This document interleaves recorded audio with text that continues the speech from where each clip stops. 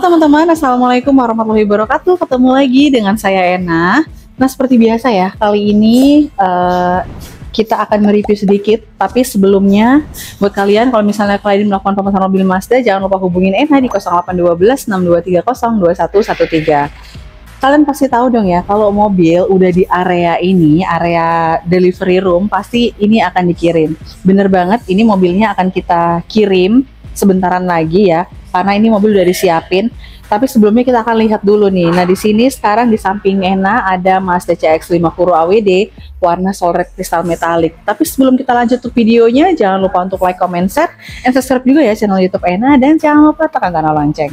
Oke teman-teman, buat kalian yang baru pertama kali berkunjung ke channel YouTube Ena, kalian jangan lupa untuk subscribe ya, karena subscribe itu gratis. Nah, selain itu, kalian juga akan mendapatkan informasi-informasi terbaru mengenai mobil Mazda dan juga kalian akan mendapatkan uh, apa namanya istilahnya harga updatean harga. Nah kalau misalnya Ena juga lupa cantumin harga, kalian boleh langsung chat atau WA kalau kalian misalnya ingin melakukan pemesanan mobil Mazda ya.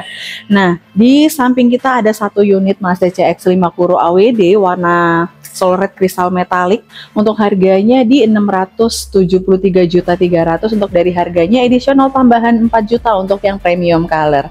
Nah untuk premium color ini termasuk juga warna soul red kristal metalik, rhodium white, mesin grey dan juga warna polymetal.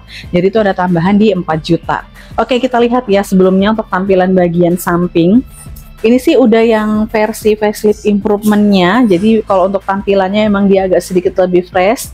Dan juga kita lihat untuk tampilan bagian atas. Nah di sini dia udah lengkap dengan roof railnya juga untuk yang tipe Kuro AWD di bagian bawah lengkap dengan window line chrome. Untuk di handle pintunya dia sewarna dengan body dengan ada tombolnya dan di sini ada untuk kunci dari manualnya. Nah untuk di bagian spion kita lihat. Untuk spionnya dia warnanya warna black glossy karena tipe yang puro. Dan juga di sini lengkap dengan um, lampu sen dan di sini lengkap dengan kameranya. Di sini udah lengkap dengan kamera 360 dan untuk di spionnya dia juga udah lengkap dengan blind spot monitoring dan juga untuk di bagian samping kita lihat di sini ada set cladding warnanya warna black glossy sampai ke bagian depan. Untuk set claddingnya warnanya warna black glossy dan untuk dari uh, ringnya kita lihat di sini menggunakan ring yang 19 dengan desain velgnya dia warnanya black glossy juga ya. Untuk bannya dia menggunakan ban yang Toyo Proxes. Oke. Okay? Sekarang kita lihat untuk tampilan bagian dari depannya. Untuk tampilan bagian depan kita lihat ya dari atas sampai ke bawah emang benar-benar Mazda ini mengusung konsep yang emang luar biasa banget ya.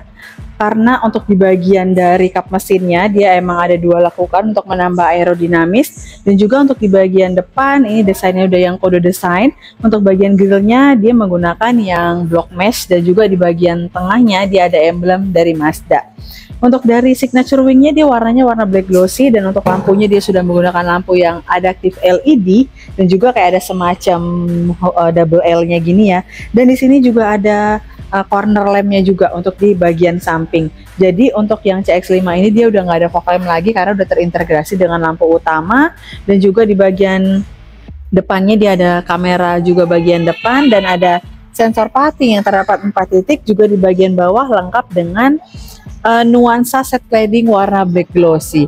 Oke, sekarang kita akan lanjut untuk tampilan bagian dari sampingnya. Sebelum kita lanjut untuk uh, reviewnya buat kalian kalau misalnya kalian melakukan pemesanan mobil Mazda jangan lupa hubungin Emma di 0812 6230 2113 kita lihat untuk tampilan bagian samping. Sebenarnya sih ya kalau untuk review itu udah banyak banget review-reviewan di luaran sana. Apalagi untuk yang CX-5 ya karena emang sebagus itu.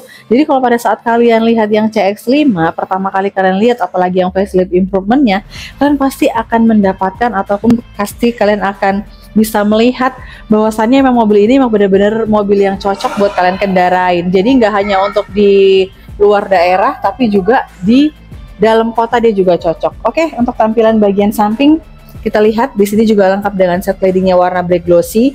Untuk spionnya dia juga warna black glossy dan juga di tampilan spionnya dia ada kamera 360-nya. Jadi untuk safety, keamanan mobil ini benar-benar udah paling top dan nomor satu. Oke, untuk pengisian bahan bakar dia juga ada di sebelah kiri ya dari pengisian bahan bakarnya. Sekarang kita akan lihat tampilan bagian dari belakangnya. Oke teman-teman, kita lihat untuk tampilan bagian dari belakangnya ya. Hmm, kita nggak pernah bosan ya kalau lihat mobil Mazda karena dari depan, dari belakang itu tetap oke. Okay. Nah di bagian atas kita lihat lengkap dengan Sarquin antena, ada high mount stop lamp, dan di bagian kaca belakang lengkap dengan rear defogger, ada wiper, dan juga untuk di tampilan lampunya seperti ini lampunya udah oke okay banget dan keren banget.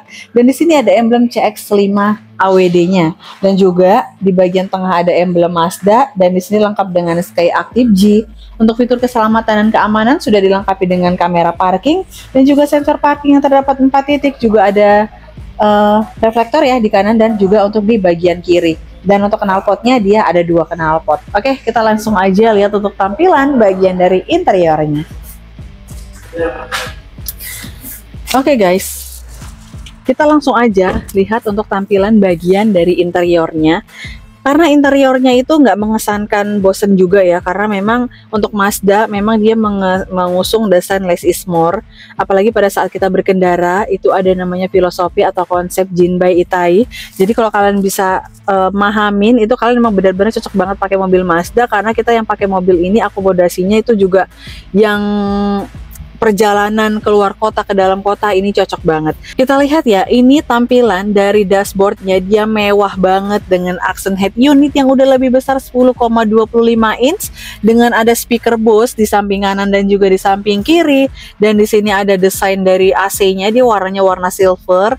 Dan di sini kayak ada semacam desain uh, karbonnya gitu ya. Dan di bagian sini kita lihat di sini ada console box yang udah soft opening dan juga untuk di tampilan AC-nya dia juga ada seat ventilation-nya juga. Jadi ada pendingin untuk kursinya juga ya dan di sini juga ada um, wireless charger. Untuk mode berkendaranya dia ada mode sport normal dan juga ada mode off-road. Di sini ada MI drive-nya juga dan juga di sini ada untuk pengaturan dari suara dan ini lengkap dengan commandery control dan dibalut di samping transmisinya ini juga soft touch dan ada jahitan asli. Jadi udah keren banget dan udah oke okay banget kalau kalian bawa mobil ini nggak kerasa capek terus nggak ngerasa nggak nyaman ini pastikan kalian pakai mobil ini selalu nyaman. Oke okay, ya untuk di bagian atas dia juga lengkap dengan sunroofnya karena ini yang tipe kuro. Jadi untuk aksennya semua warnanya warna black glossy. Kita lihat di bagian sini dia lengkap dengan sun visor ada vanity mirrornya juga dan juga di sini ada tempat kacamata. Untuk dari spion tengah dia udah auto dimming dan juga di sini dia lengkap dengan sun visor dan ada vanity mirror juga. Oke ya, mungkin kita akan lihat ya tampilan untuk baris keduanya. Oke, kita menuju ke baris keduanya ya. Aduh, enaknya. Beruntung banget ya orang yang beli CX-5 atau beruntung banget orang yang udah punya mobil CX-5 karena selain desainnya bagus, terus desain interiornya oke, dalam posisi kita duduk itu juga nyaman gitu. Jadi udah lengkap, udah paket komplit kalau kita pakai Mazda CX-5. Untuk baris kedua, dia seperti ini ya. Baris kedua ini posisi tadi nyetir, uh, terus di bagian tengah di sini lengkap dengan armrest ada tempat cup holder, tempat smartphone, dan juga di sini dia blue drew. Aduh, oke okay banget sih ini udah enak banget. Jadi kayak kesannya lebih eksklusif ya. Dan untuk tampilan bagian belakang dia seperti ini untuk dari headrestnya dia juga udah ada tiga untuk tampilan headrestnya dan juga di sini lengkap dengan hand grip di kanan dan juga untuk di bagian kiri.